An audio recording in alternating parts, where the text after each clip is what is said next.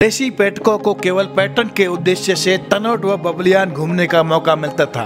मगर एक नया बॉर्डर टूरिज़्म पॉइंट सम क्षेत्र में खुलना टूरिस्टों व पर्यटन व्यवसाय के लिए काफ़ी फ़ायदेमंद साबित होगा। क्योंकि हर साल मखमली, रेतीले धोरों का आनंद लेने के लिए हर वर्ष लाखों देशी पर्यटक आते हैं। मगर सीमा सुरक्षा बल द्वारा अब सम क्षेत्र में एक मिनी बॉर्डर बनाया गया है। अक्सर आपने सुना होगा व देखा भी होगा, हर किसी के मन में अंतर्राष्ट्रीय भारत पाक सीमा पर बीएसएफ के जवान सीमा पर सर्दी हो या गर्मी हो या बारिश हो या भारी तूफ़ान, व कैसे सीमा की निगरानी करते हैं और भारत पाकिस्तान सीमा कैसी है, यह हर किसी के मन में देखने का मन बना रहता है।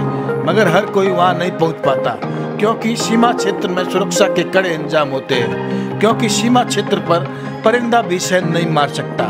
अगर कोई परिंदा सहन मारता है तो उसे तेज आँखों से सीमा की निगाहें बने निगरानी करते सीमा सुरक्षा बल के जवान कुछ ही मिनटों में पकड़ लेते हैं। वह अक्सर आपने टेलीविज़न पर या समाचार पत्रों में देखा होगा।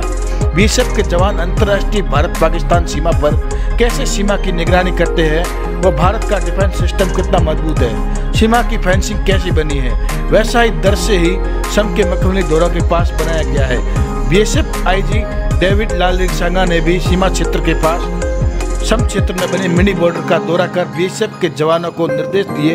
यहाँ आने वाले पर्यटकों को कोई भी कमी महसूस न हो।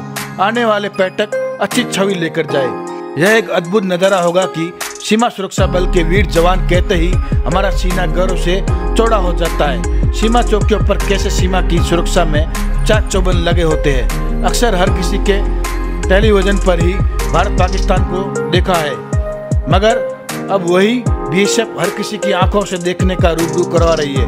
वैसा ही नज़ारा अब सैलानियों को सम के मखमली दौरा के पास देखने को मिलेगा। यहाँ भी देसी सैलानियों के लिए बीएसएफ ने मिनी बॉर्डर बनाया है। टूरिस्ट पॉइंट में बीएसएफ ने खास इंतज़ाम किए हैं। जैसे देखते ही, सुनते ही हमारा सीना गर्व महसूस होता है। आने वाले देसी, विदेशी पर्यटकों के लिए, वीरों की शौर्य गाथा को बताने के लिए एक म्यूज़ियम पॉइंट भी बनाया गया है।